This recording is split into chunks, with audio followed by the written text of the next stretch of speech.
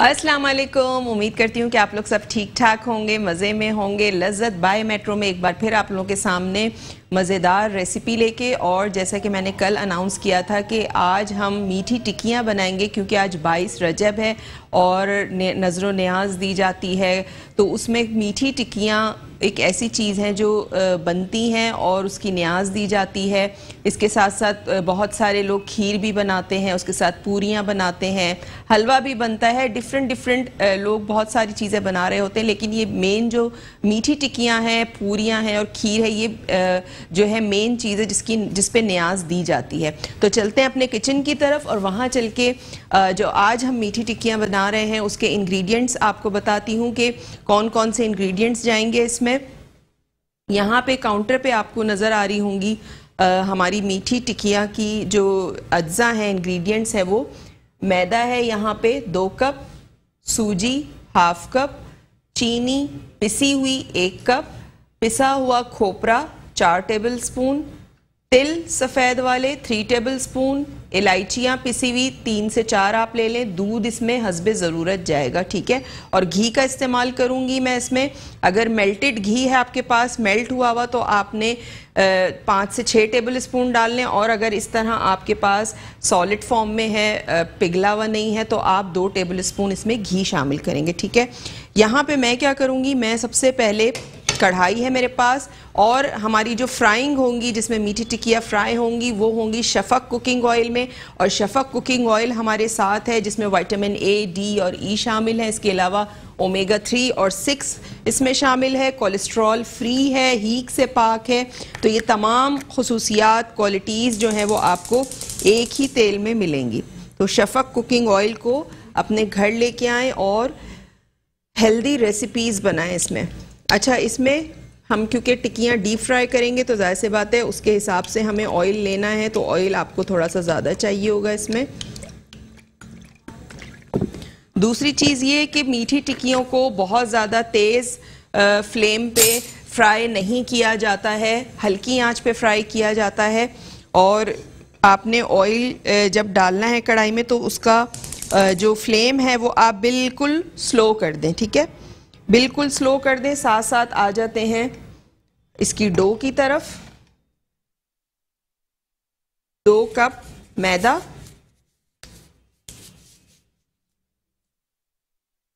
दो कप मैदा है मेरे पास, इसमें मैं शामिल करूँगी पिसी हुई चीनी।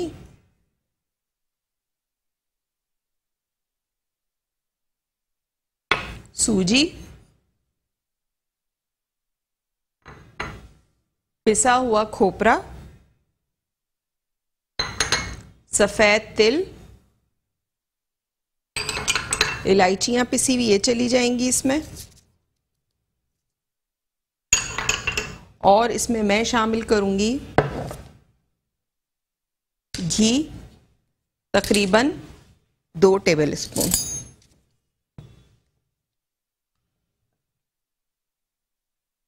दो टेबल स्पून इसमें मैं घी शामिल करूँगी। अच्छा सा मिक्स करने के बाद मेरे पास यहाँ पे दूध रखा हुआ है। आपने थोड़ा थोड़ा इसमें दूध शामिल करना है और इसकी आपने एक हार्ड सी डो बना लेनी है, ठीक है? इसके अलावा रेसिपी कार्ड भी स्क्रीन पे आपको नज़र आ रहा होगा। वहाँ से भी आप इंग्रेडिएंट्स नोट डाउन कर सकते हैं। ये इस तरह हो गया। अब आपने क्या करना है? मैं दूसरे हाथ में पहन लेती हूँ ताकि हाथ जो है वो गंदे ना हो, वरना फिर बहुत ज़्यादा चिकने हो जाते हैं तो वो साफ़ करने बड़े मुश्किल हो जाते हैं। तो ऐसी चीज़ों के लिए आप ग्लव्स इस्तेमाल कर सकते हैं। इसमें देखें आधा कप दूध का इस्तेमाल हुआ है, ठीक है? और हाथ से ही आपने पहले इसको प्रेस करना है।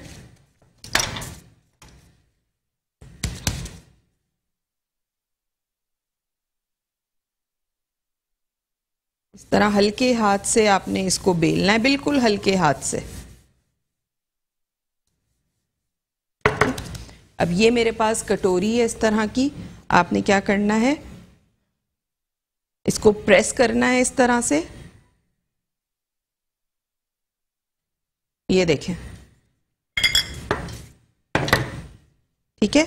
ये हो गया और हाथ से थोड़ा सा इसको पतला करके यहाँ से भी आपने इसको इस तरह से प्रेस करना अगर कटर हो तो कटर से कर लें, कोई गोल ढकना हो, किसी बॉटल का, जो टिकियों की साइज़ का ज़्यादा बहुत बड़ी भी नहीं अच्छी लगती और बहुत छोटी भी नहीं अच्छी लगती तो उससे भी आप कर सकते हैं। और बाकी का जो एक्सेस है, वो आपने निकाला और उसको दोबारा डो की शक्ल दे दें। ये देखें। ठीक है?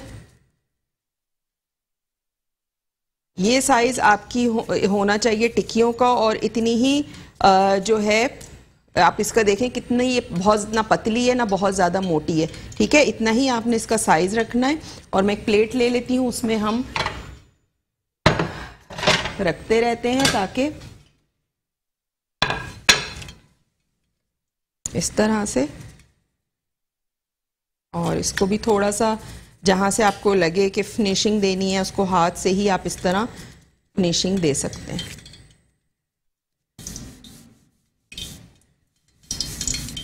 अच्छा आप इसके दो तरीके होते हैं। आप चाहें तो दूध को आप नीम गरम करके उसमें पिसी हुई चीनी को आपने डिज़ोल्व करना है और फिर जब वो चीनी उसमें डिज़ोल्व हो जाएगी, फिर आपने जो हमने ड्राई आइटम डाले थे, जिसमें मैदा था, सूजी था, खोपरा था, तिल था तो उसमें आप वो दूध, चीनी वाला दूध डाल के उससे भी आप आटा गूंद सकते हैं, ठीक है? दो तरीके होते हैं ये। और मीठी टिक्कियाँ इसमें मैं शामिल कर चुकी हूँ ऑयल में। और फ्लेम आप देखें, बिल्कुल स्लो है। स्लो फ्लेम पे आपने इसको कुक करना है। और साथ साथ जो रेसिपी कार्ड है, वो भी चल रहा होगा स्क्रीन पे। तो आप वहाँ से भी नोट डाउन कर सकते हैं। जो भी आपका इंग्रेडिएंट वगैरह मिस हो गया हो तो आप वहाँ से नोट डाउन कर सकते हैं। और अगर शो मिस हो गया है तो रात में हमारा शो अपलोड हो जाता है। लज्जत बाय मेट्रो यूट्यूब के ऊपर, वहाँ आप देख सकते हैं metro one news metro one news का यूट्यूब चैनल है, उस पर इसके अलावा हमारे जो रिपीट टाइमिंग है, वो है दोपहर एक बजे, नेक्स्ट डे तो उस वक्त भी आप देख सकते हैं। तो यहाँ पे ये फ्राई हो रही हैं, और आपने क्या करना है कि फ्लेम स्लो रखनी है, बहुत ज़्यादा तेज़ नहीं करनी, और जब देखें सेट होगी, फिर आपने फ्लेम को थोड़ा सा लेना है। और ये भी हो सकता है कि आप फ्रेश फ्रेश बना के डालें तो वो क्रैक पड़ना शुरू हो जाए, टूटना शुरू हो जाए। इसलिए मैं कह रही हूँ कि आपने थोड़ा सा इसको रेस्ट देना है थोड़ा सा टाइम देना है। उसके बाद आपने इसको फ्राई करना है, जिस तरह मैंने कटिंग करके इसको फ्राई किया ठीक है?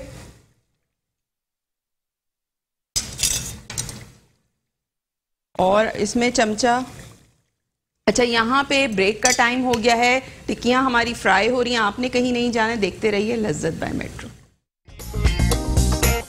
welcome back break से वापस आ चुके हैं और ब्रेक पे जाने से पहले मैं बना रही थी मीठी टिक्कियाँ और मीठी टिक्कियाँ यहाँ पे तैयार हो चुकी हैं।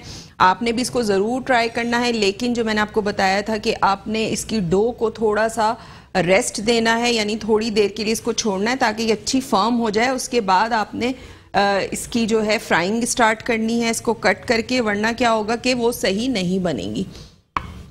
यहाँ पे मीठी टिक्कियाँ जो हैं, ये तैयार हो चुकी हैं। उम्मीद है रेसिपी आपको समझ में आ गई होगी। फिर भी कोई चीज़ ना समझ में आए तो हमारा शो रात में रिपीट होता है। मेट्रो वन न्यूज़ का यूट्यूब चैनल है। वहाँ पे लज्जत बाय मेट्रो टाइप कीजिएगा तो आप ये वाला शो रात में भी देख सकते हैं।